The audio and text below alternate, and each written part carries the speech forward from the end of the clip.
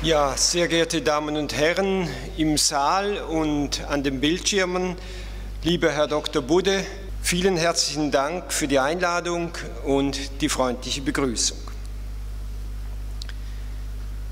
Die Beschlüsse des Ersten Vatikanischen Konzils haben die Ekklesiologie der katholischen Kirche gravierend verändert. In zentralen Fragen blockieren sie die Kirche noch heute. Dem päpstlicher Primat und päpstliche Unfehlbarkeit stelle nicht nur für die heutige Ökumene eine Herausforderung dar, vielmehr beeinflusst das Kirchenverständnis des Ersten Vatikanischen Konzils direkt oder indirekt auch die aktuellen innerkatholischen Debatten um Auftrag und Rolle der Kirche in der Welt von heute.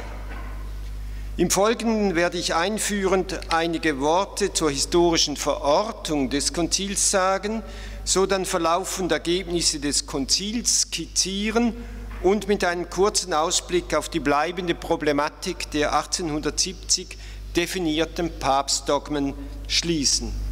Ein erster Punkt also die Vorgeschichte. Die Idee eines allgemeinen Konzils 300 Jahre nach Trient war in der Umgebung Papst Pius IX. seit der Jahrhundertmitte wiederholt thematisiert worden.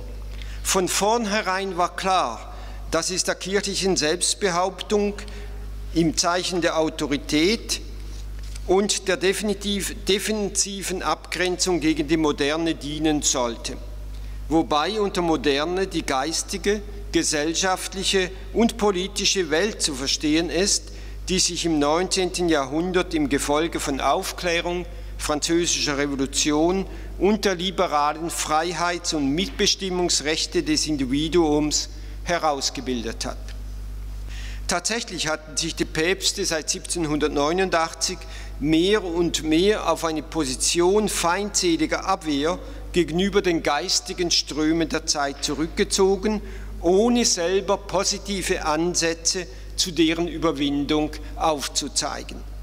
Einen Höhepunkt dieser Entwicklung bildete am 8. Dezember 1864 die Publikation der Enzyklika Quanta Cura, der ein Syllabus angehängt war, eine Auflistung von 80 sogenannten modernen Zeitirrtümern, die verworfen wurden. Darin verurteilte Pius IX. unter anderem auch Religions-, Kultus-, Meinungs- und Pressefreiheit, Demokratie, die Forderung, der Papst solle auf den Kirchenstaat verzichten und die Forderung, der Papst solle sich mit dem Fortschritt, mit dem Liberalismus und der modernen Kultur versöhnen und anfreunden. Zwei Tage vor der Verkündigung der Enzyklika und in engem Zusammenhang mit den darin erfolgten Verwerfungen kam es zu einer ersten vertraulichen Kardinalsbefragung über die Opportunität und die Beratungsgegenstände eines einzuberufenden Konzils.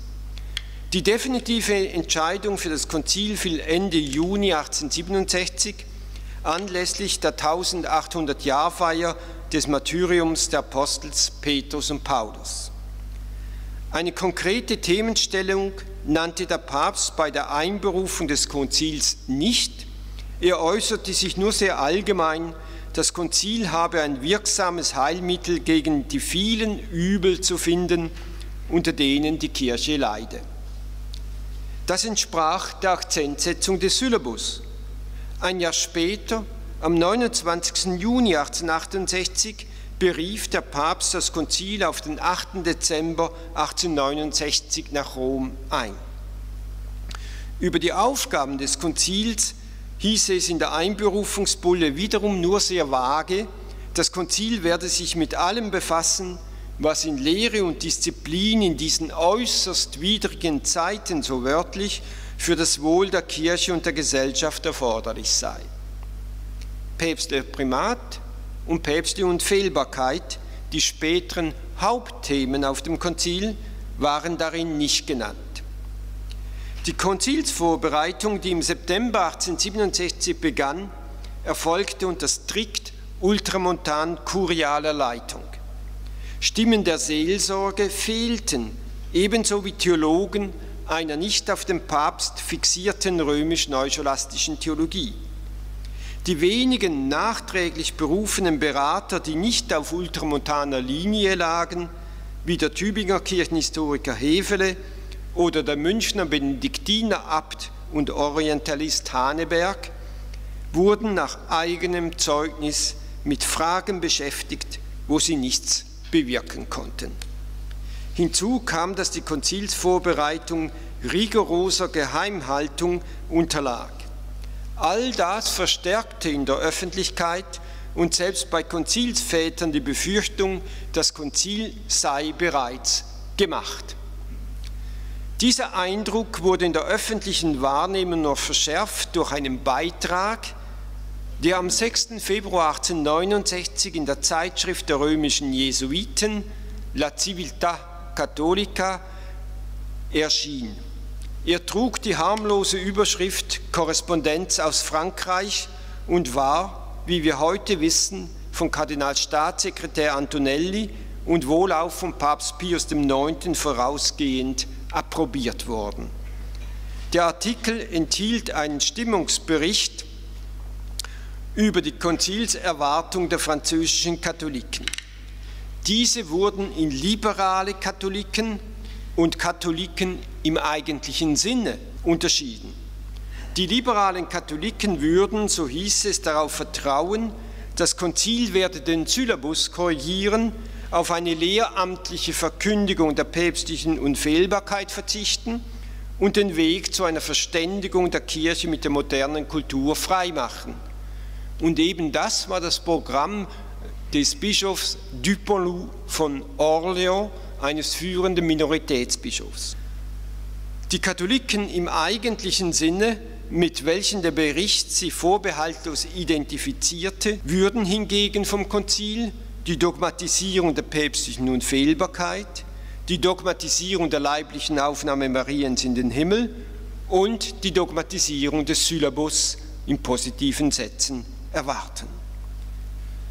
Der Artikel schlug wie eine Bombe ein er verhärtete im Augenblick die innerkirchliche Polarisierung am Vorabend des Konzils.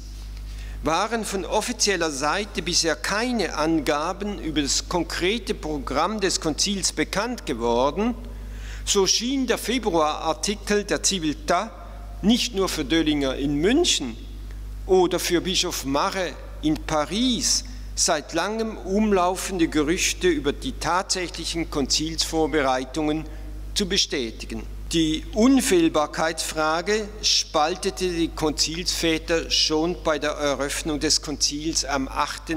Dezember 1869 in zwei antagonistische Blöcke. Eine Mehrheit von Infallibilisten, also Befürwortern der päpstlichen Unfehlbarkeit, und eine anti-infallibilistische Minderheit. Die Majorität wurde von einer infallibilistischen Pressure Group um den konvertierten Erzbischof Edward Manning von Westminster und Bischof Ignaz Senestrei von Regensburg angeführt. Beide Bischöfe hatten am 28. Juni 1867, zwei Tage nach der Konzilsankündigung, am Petrusgrab und unter Assistenz des römischen Jesuiten Matteo Liberatore, des Chefredaktors der Civiltà Cattolica, ein Gelübde abgelegt, alles zu unternehmen, koste es, was es wolle, notfalls bis zum Martyrium zu gehen, um auf dem einberufenen Konzil die Definition der päpstlichen Unfehlbarkeit durchzusetzen. Zum engeren Kreis um Manning Senestrei zählten der belgische Erzbischof Deschamps von Mecheln, der französische Bischof Bi von Poitiers und der Genfer Weihbischof Mermillon.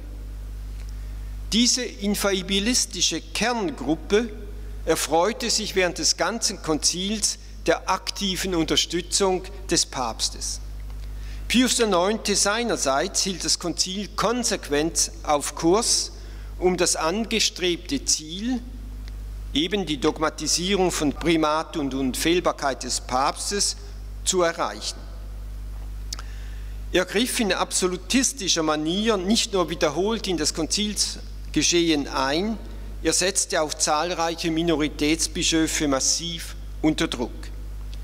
Die Mehrheit der Bischöfe verhielt sich zunächst abwartend, was leicht nachvollziehbar ist, sie schwenkte aber unter dem Eindruck der wachsenden Polarisierung in und außerhalb der Konzilsaula, vor allem aber, weil sie mentalitätsmäßig auf Stärkung des Autoritätsprinzips ausgerichtet war, bis Ende Januar 1870 auf den infallibilistischen Kurs ein. Die Minderheitsfraktion umfasste rund 20 Prozent, also etwa 140 Konzilsväter, unter ihnen hochgebildete Theologen und Führungspersönlichkeiten in ihren Diözesen. Zu ihr gehörten mit wenigen Ausnahmen die deutschen und österreichisch-ungarischen Bischöfe mit den Erzbischöfen von Prag, Wien, Köln, München, dem Primas von Ungarn und Bischof Strossmayer von Jakovo im heutigen Kroatien. Hinzu kamen über 40 Prozent der französischen Bischöfe, angeführt vom Pariser Erzbischof Darbois und Bischof Dupolou von Orléans, etwa gleich viel nordamerikanische Bischöfe, geschlossen die Melkiten, einige Chaldäer sowie einzelne Bischöfe aus England, Irland, Italien und der Schweiz. Die Vertreter der Minorität lehnten die päpstliche Unfehlbarkeit ab mehrheitlich allerdings nur aus opportunistischen Gründen, nämlich aus kirchenpolitischen und ökumenischen Rücksichtnahmen in ihren Ländern. Nur wenige, wie nachweislich Darbour, Strossmayer und Hefele, machten jeweils gut begründet auch prinzipielle historische und theologische Gründe geltend. Hefele war ja kurz vor Konzilsbeginn zum Bischof von Rottenburg gewählt worden und konnte deshalb am Konzil teilnehmen. Zur Unzufriedenheit der Minorität trugen das ausschließliche Vorschlagsrecht der Konzilspräsidenten bei, das dem Konzil den Zugriff auf die Themen von vornherein entzog, außerdem die Geheimhaltung der vorbereiteten Schemata bis zur jeweiligen Beratung, die schlechte Akustik der Konzilsaula, damals im rechten Seitenschiff äh, der Petersbasilika, vor allem aber die den Konzilsvätern von Papst und Konzilsleitung aufoktroyierte Geschäftsordnung. Sie sahen darin einen offenen Bruch mit einer alten konziliaren Tradition, nach welcher Konzilien sich immer selber eine Geschäftsordnung gegeben haben.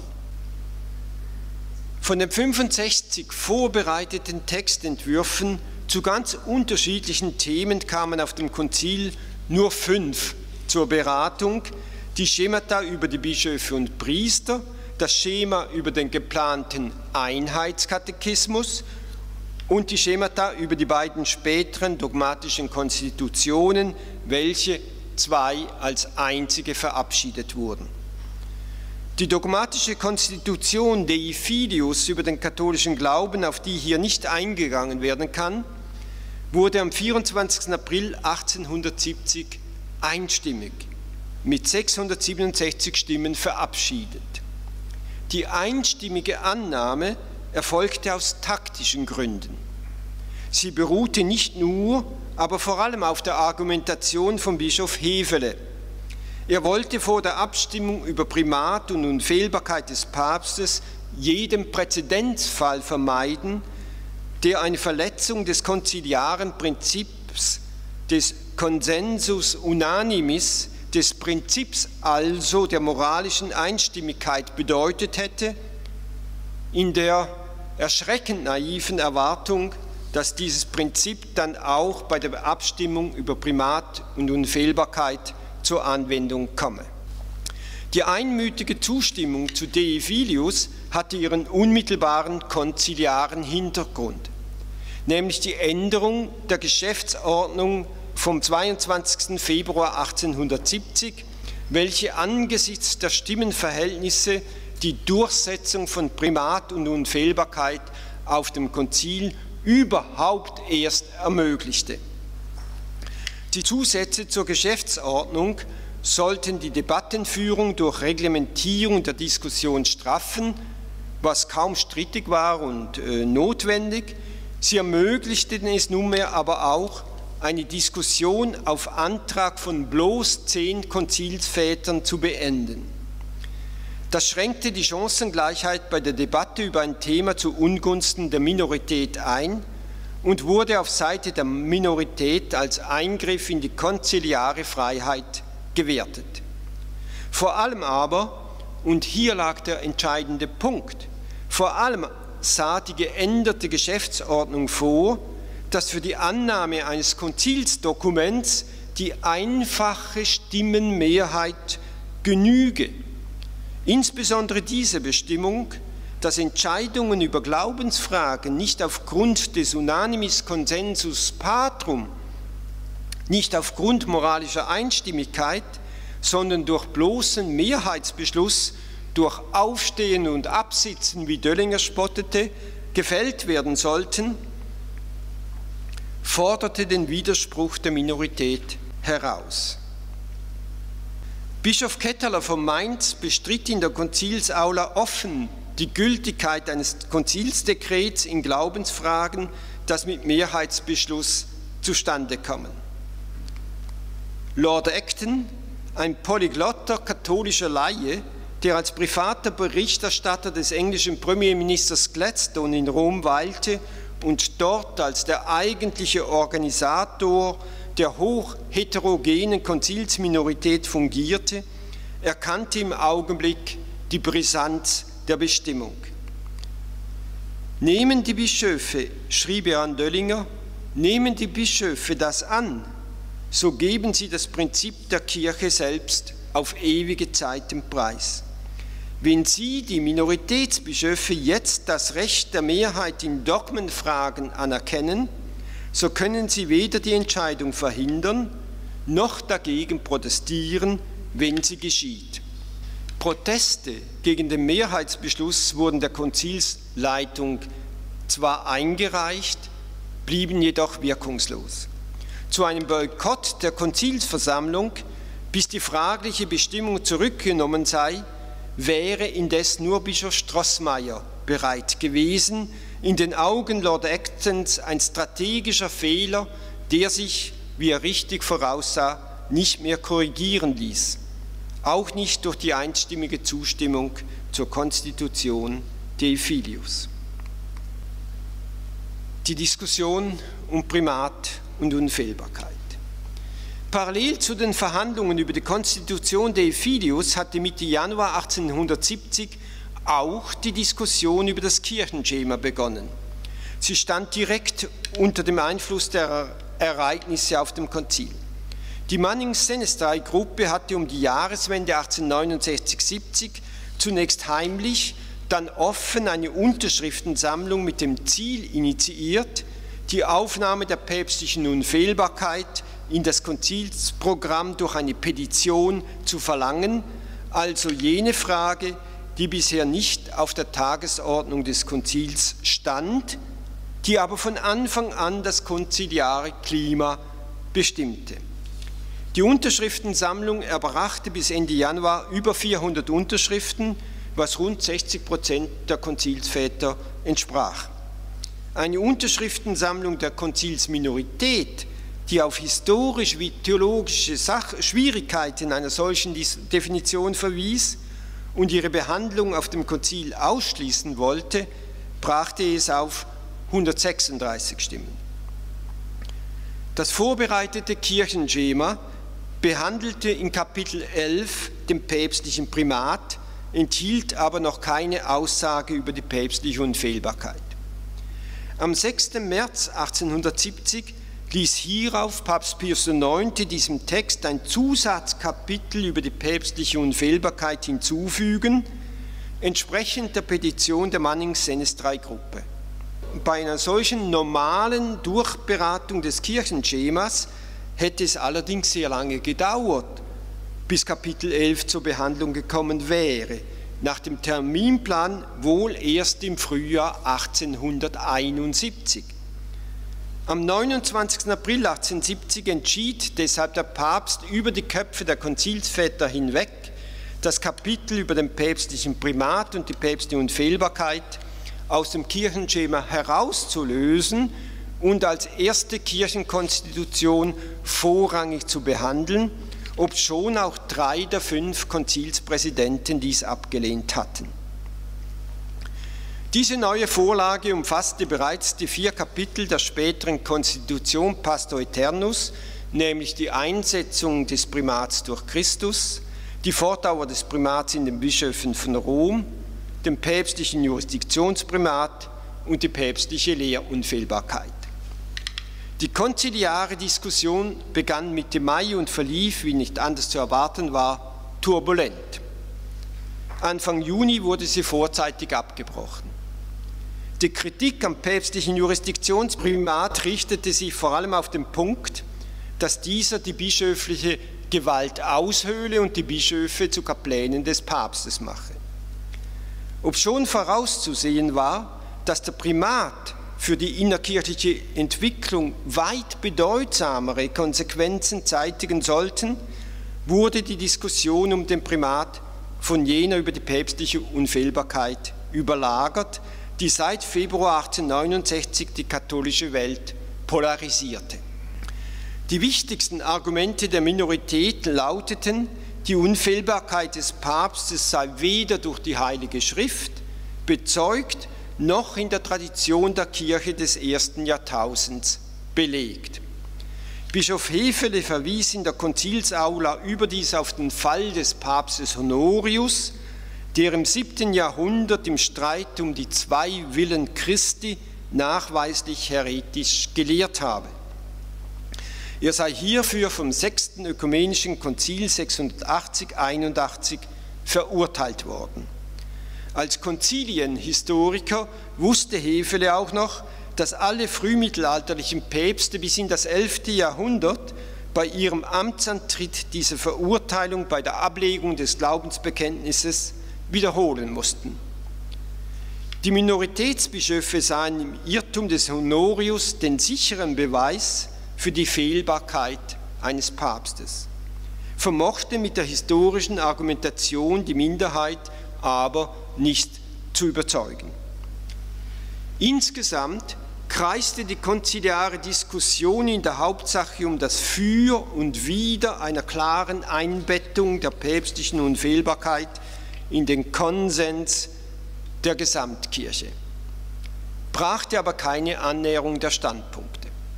Vermittlungsversuche, wie sie prominent vom Dominikaner Kardinal und Bologneser Erzbischof Filippo Maria Guidi unternommen wurden, scheiterten.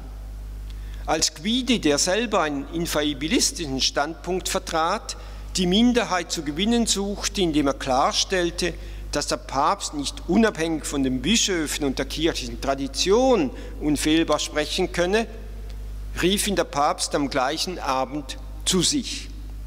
Pius IX. erteilte ihm zornig einen scharfen Verweis und widersprach mit den bekannten Worten Io, io sono la tradizione, io, io sono la Chiesa. Also ich bin die Tradition, ich bin die Kirche. Deutlicher hätte der Papst sein absolutistisches Selbstverständnis nicht ausdrücken können, auch nicht, wie er selber die Unfehlbarkeit verstand, nämlich maximal und persönlich.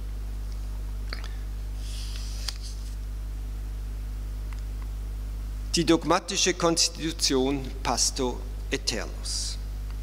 Bei der vorläufigen Schlussabstimmung am 13. Juli 1870 stimmten 88 von 601 anwesenden Konzilsvätern mit non placet. Eine beachtliche Zahl von Bischöfen, darunter Inhaber von bedeutenden Bischofssitzen, brachte damit einen klaren Dissens zum Ausdruck. Sie glaubten, der Papst werde über einen solchen beachtlichen Widerstand nicht hinweggehen. Das Ergebnis bewirkte jedoch eine weitere Verhärtung bei Pius IX. Er befahl am folgenden Tag einen verschärfenden Zusatz in die Unfehlbarkeitsformel einzufügen. Dieser Zusatz präzisierte den bisherigen Satz, dass Definitionen des Papstes exzese aus sich selbst unwiderruflich seien, mit der Formulierung non autem ex consensu ecclesiae, nicht mit Zustimmung der Kirche. Die Ergänzung richtete sich gegen die französisch-gallikanische Theologie, wonach päpstliche Entscheidungen in Glaubensfragen möglich sind, ihre Gültigkeit aber erst erlangen, wenn die Kirche als Ganze zustimme. Ein letzter Vorstoß der Minorität bei Pius IX. am 15. Juli, bei dem Bischof Ketteler den Papst auf den Knien und mit Tränen in den Augen gebeten haben soll, auf die Unfehlbarkeitserklärung zu verzichten, blieb ergebnislos. Rund 60 Minoritätsbischöfe bestätigten und erneuerten hierauf am Vortag der feierlichen Abstimmung ihre Nichtzustimmung. Sie taten dies in einer schriftlichen Erklärung, da sie ihre Nein-Stimme, wie sie anführten, aus Taktgründen nicht in Gegenwart des Papstes abgeben wollten. Dann reisten sie vorzeitig aus Rom ab oder blieben der Schlussabstimmung fern. Am 18. Juli 1870 verabschiedete die Konzilsversammlung hierauf mit 533 Ja-Stimmen und zwei Nein-Stimmen, die sich aber sofort der Konzilsentscheidung unterwarfen, die dogmatische Konstitution Pastor Eternus. Sie bekräftigte die Lehre, dass der Primat des römischen Bischofs durch Christus eingesetzt sei und dieser in den römischen Bischöfen fortdauern. Das war auch von niemandem bestritten. Es folgten neu die Aussagen über den päpstlichen Primat und die päpstliche Unfehlbarkeit, die lehramtlich verbindlich festgeschrieben und zugleich als geoffenbarte Wahrheiten deklariert wurden. Der heilige apostolische Stuhl und der römische Bischof, heißt es, hat über den gesamten Erdkreis den Primat inne. Demnach lehren und erklären wir, dass die römische Kirche auf Anordnung des Herrn über alle anderen Kirchen den Vorrang der ordentlichen Gewalt besitzt und dass diese Jurisdiktionsgewalt des römischen Bischofs, die wirklich bischöflich ist, unmittelbar sei. Ihr gegenüber sind die Hirten und Gläubigen unabhängig von Ritus und Rang, je einzeln und in ihrer Gesamtheit zur hierarchischen Unterordnung und zu echtem Gehorsam verpflichtet. Das gilt nicht nur in Fragen des Glaubens und der Sitten, sondern auch in Disziplinar- und Lehrfragen. In diese Primatslehre eingebaut ist die päpstliche Lehrunfehlbarkeit in Fragen des Glaubens und der Sitte. Wenn er, der Papst, ex cathedra spricht, das ist Voraussetzung, das heißt, wenn er in Ausübung seiner höchsten apostolischen Autorität entscheidet, eine Glaubens- oder Sittenlehre sei von der gesamten Kirche festzuhalten, dann vermag er dies durch göttlichen Beistand, der ihm im seligen Petrus verheißen ist, mit jener Unfehlbarkeit, mit der der göttliche Erlöser seine Kirche bei der Definition der Glaubens- und Sittenlehre ausgestattet sehen wollte. Und deshalb sind solche Definitionen des römischen Bischofs aus sich nicht aufgrund der Zustimmung der Kirche unabänderlich. Genau diesen Unfehlbarkeitsanspruch hatte Pius IX bei der Dogmatisierung der Immaculata Conceptio 1854 bereits für sich in Anspruch genommen. Wer diesen päpstlichen Prärogativen nicht zustimmt, wie sie im Pastor Eternus äh, formuliert sind, so heißt es am Ende aller vier Kapitel der Konstitution, für den gelte das Anathem, das heißt, er ist exkommuniziert. Wer auch die Einleitung von Pastor Eternus liest, stellt allerdings fest, dass nicht das Konzil definiert, sondern der Papst der aktiv Handelnde ist, wenn es explizit heißt, Sacro approbante concilio docemus et declaramus, also mit Billigung des Konzils lehren und erklären wir, und wir können hinzufügen, die Unfehlbarkeit und Primat. Unmittelbar nach der Schlussabstimmung wurde das Konzil bis zum 11. November beurlaubt. Tags darauf brach zwischen Frankreich und Deutschland der Krieg aus. Nach dem Abzug der französischen Truppen erfolgte am 20. September die Einnahme der Stadt Rom und die Kapitulation des päpstlichen Heeres. Das Ende des Kirchenstaats war gekommen. Einen Monat später, am 20. Oktober 1870, vertagte Pius IX. das Konzil auf unbestimmte Zeit.